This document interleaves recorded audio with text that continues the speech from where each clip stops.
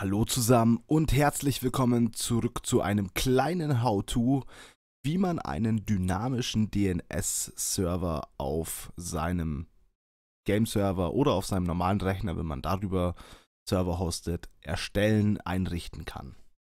Ähm, es ist eigentlich ganz einfach. Ihr geht einfach gemütlich auf no-ip.com.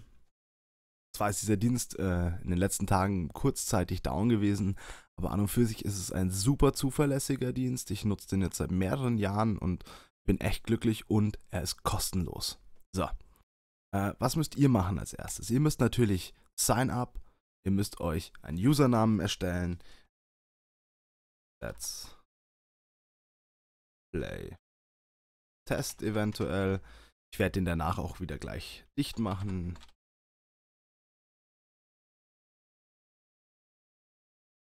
So.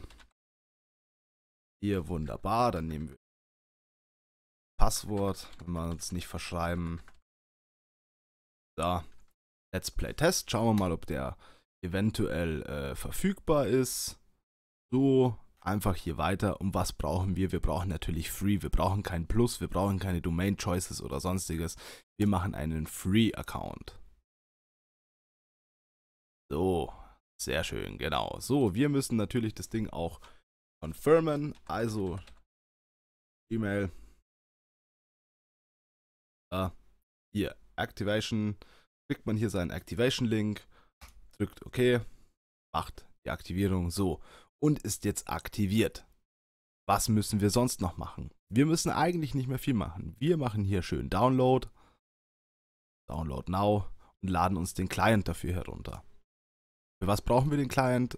Dass er immer wieder unsere IP-Adresse, unsere öffentliche IP-Adresse, die im Internet ist, auch wieder updatet. So.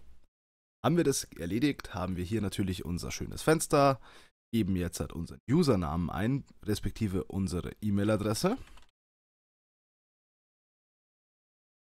So. Und unser Passwort. Sign in. Machen wir doch. Sollte jetzt auch schön funktionieren, genau. So. Aber, wie ihr seht, hier ist noch X. Wir müssen Edit Hosts drücken und dann ist der eine, den wir am Anfang schon vergeben haben, ist verfügbar. So, den müssen wir auswählen, müssen auf Save drücken.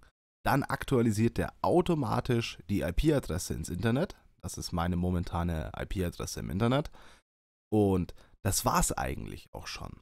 Was müsst ihr jetzt machen? Ihr müsst natürlich bei den Servern, die ihr erstellt habt, sei es Minecraft, sei es Seven Days to Die oder sonstiges, die Ports freigeben. Habe ich in meinem letzten Tutorial ja ungefähr erklärt, wie das funktioniert. Und müsst dann nur noch euren äh, Kumpels oder sonst was, die mit euch spielen wollen, diese Adresse geben. Also nicht diese Adresse, das ist ja die E-Mail-Adresse, sondern in einem Fall wäre das jetzt diese let'splaytest.ddns.net. Über die können Sie dann einfach connecten. Es ist wie, als würden Sie jetzt auf äh, eine ganz normale Adresse im LAN connecten oder sonstiges. Also die ist auch immer aktuell, die wird alle fünf Minuten aktualisiert. Das heißt, wenn euer Server 24 Stunden läuft, dann ist zwar irgendwann dieser Reconnect, zum Beispiel bei der Telekom, die machen das nach 24 Stunden, dann dauert das aber maximal fünf Minuten, dann ist der wieder online. Im schlechtesten Fall natürlich. Ähm, und dann können sie sofort weiterspielen oder ihr. Ähm, es gibt natürlich auch die Möglichkeit, rein theoretisch, ähm, diese Sachen ein wenig zu verkürzen. Das geht aber leider nur in der Professional-Version, also in der, wo man zahlt. Da könnte man dann sagen, er soll alle Minute updaten oder sonstiges. Aber für den Privatgebrauch ist das wunderbar und ich kann es nur weiterempfehlen und hoffe, ich habe euch damit ein bisschen weitergeholfen. Und wenn es euch gefallen hat, würde ich mich über einen Daumen hoch freuen und natürlich ein Abo. Und wenn wir uns beim nächsten How-To oder Let's Play sehen, mittig den Jorgenworgen. Ciao!